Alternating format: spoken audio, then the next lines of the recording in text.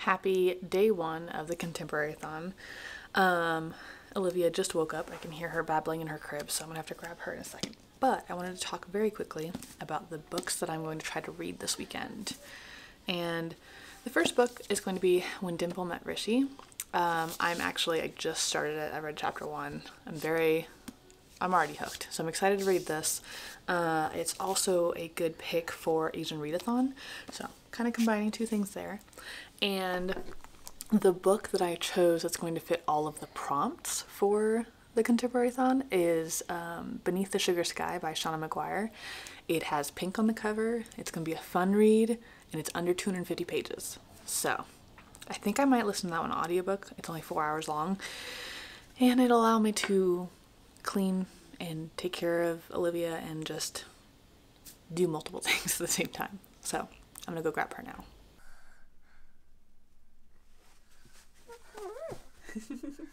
what is that? It's a uh. tiger. Oh, by the way, hi, my name is Emma. Ah. This is a the mini contemporary thon vlog. We're just gonna hang out for the weekend and uh, try to read some. I think the uh, plan for today is to just read when I have time, and I'm gonna probably go find my headphones and try to start listening to Beneath Sugar Sky and clean because I need to. I also kind of want to make myself some coffee because that's how I feel right now.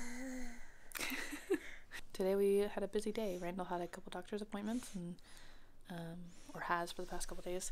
So we were out the door by like 7:30 and uh, I'm hoping the rest of the day will be pretty relaxed. You're just gonna have your face right up on the camera the entire video, aren't you? Wonderful. what are you doing?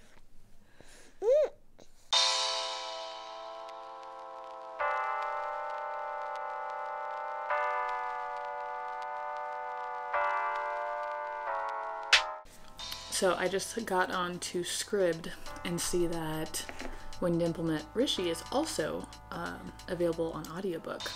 So I am going to start with Beneath the Sugar Sky first, but when I finish that, I might just jump into listen to the audiobook. We'll see.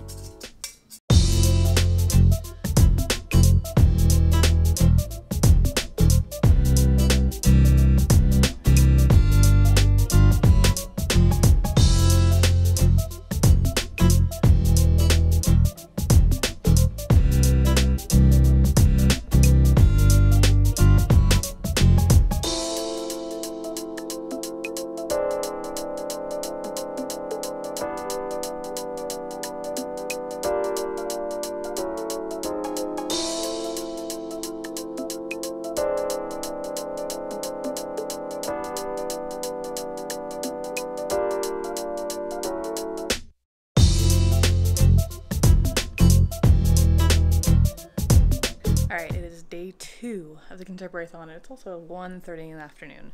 Um, I have not started reading anything. Today has just been a little bit busy.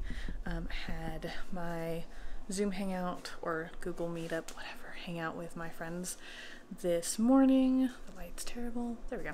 I was thinking about combing all my hair forward like cousin it. Like you guys, Nick. we all have to get ready. I'm- My camera's definitely not rolling right now. Definitely not. I'm pretty sure I'm just gonna include footage that's everybody like preening themselves. Are you actively recording? yes. That is a dick move, and I I know. it. You're welcome. Say bye. Bye. that lasted about an hour and a half. So I've just been hanging out, which has been really nice actually. But I'm thinking about trying to get um, figure out where I am on when Dimple Met Rishi on audiobook and listening to that while I clean up the kitchen some while this one eats. okay, so all of the wonderful footage that I took last night talking about uh, Beneath the Sugar Sky had no audio on it. So, we're going to talk about Beneath the Sugar Sky, which I finished yesterday. Uh, I listened to the audiobook. Um, the full audiobook, I believe, is only four hours. It's four hours long, and I listened at 1.5 speed. Uh, I love this series. It's the Wayward Children series. It is a portal fantasy. It is a lot of fun. Uh, the first book read a little bit like a fairy tale story to me, but definitely written for adults. Uh, I love this series. So I don't really want to talk about what it was about so much since it is the third book, but highly recommend the entire series. Read it. Uh, but that meant, or, or that met all of the prompts for Contemporary Thon. So it's under 250 pages. It has pink on the cover, and it was a fun reader. I thought it was going to be a fun read. And I did start reading when Dimple met Rishi. And I'm only a couple chapters in, like three chapters maybe. I was going to listen to this on audiobook today. I'm three chapters in. I was going to listen to this on audiobook today, but decided not to. I might change my mind again because I haven't really read a lot. And I kind of want to play Animal Crossing, even though I haven't played it in like two weeks. But yeah. I also kind of want to read this romance uh, series that was recommended to me called Signs of Love. But the first book is Leo Loves Aries. And I've heard it's just great fun. And I feel like I would fly through it. I don't know what I'm in the mood to read, is what I'm saying. What are you doing?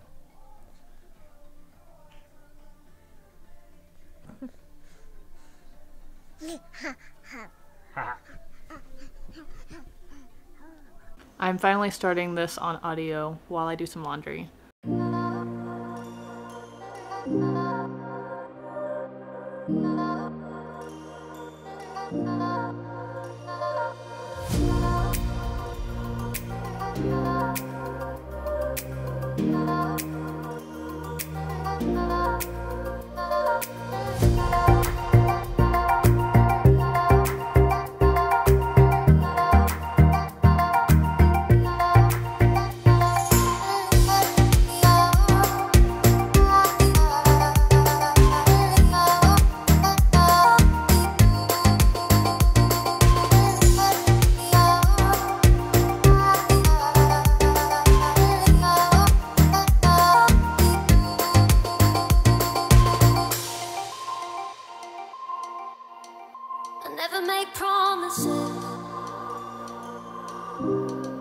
Cause I don't keep them. I never make promises. Cause I don't keep them. Cause I don't keep them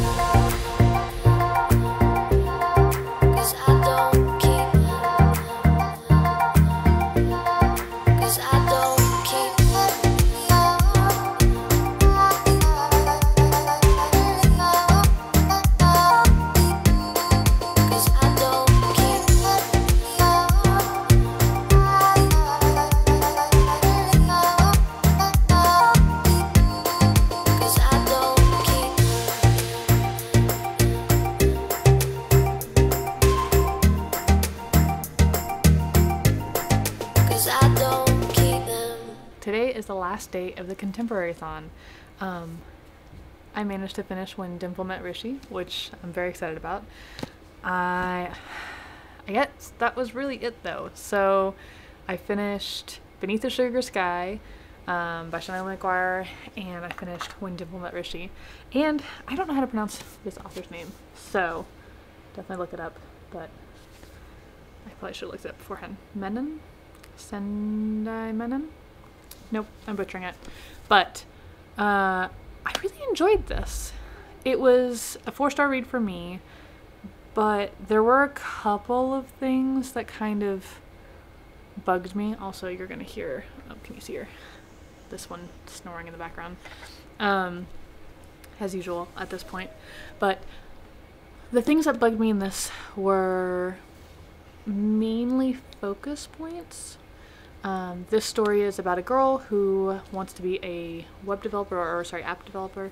Um, and she has this great idea for an app. She's going to this like competition I don't want to call it summer camp but like program. And her whole experience with that was I don't know. I feel like it, I'm so happy to see women in tech. This is a normal career, blah blah. But um, I also don't feel like it was focused enough on that in a lot of ways, because this was a I don't know, 13 week program or something. Um, and we just kind of flew through, and everything was very, very centered around their relationship, which I realize is the entire point of this book. But I do wish that they had gone into a little bit more of like the struggle of getting the stuff working or like what a little bit more of what they were doing.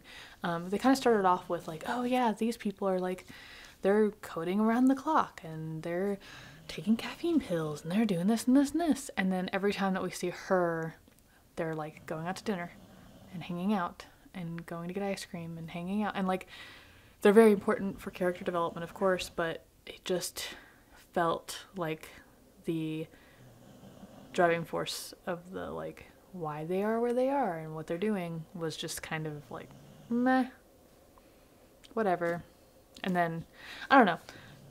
I understand it's ya so that's fine. Um, i can understand that i'm a little older for than the intended audience. But i do wish it would focus more on that. Anyway that's why i'm gonna stop harping on that. I did enjoy it. It was a lot of fun. Um, i really loved for me, not being Indian, I got to Google a lot of different uh, Indian foods and traditions, and that was actually really interesting for me. So that was a really fun side of reading this. Um, Beneath the Sugar Sky is the, I think I, I've been saying the third. I think it's the fourth it's third or fourth book in the Wayward Children series. Um, they are very short books. They are portal fantasies, a lot of fun. I love them. Um, this one was different. Really loved it. Um, in each book, you kind of are following different people. This person that we followed um, kind of ended up taking a group with her and like going on an adventure. Um, I don't want to talk about it too much because I don't want to spoil anything. Um, but we do see a return of an old character, which was so fun for me. So I was very excited to see that.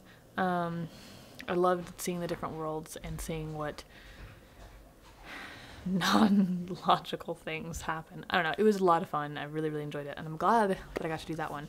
I also wanted to point out that I'm, I'm going to count this as a. that it's not quite peach, but it is pinkish. So I got two books in that category and I was very excited about it. Um, but yeah, that's that's it.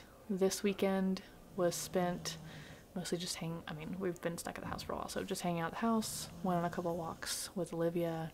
Uh, today we made banana muffins and not chicken nuggets.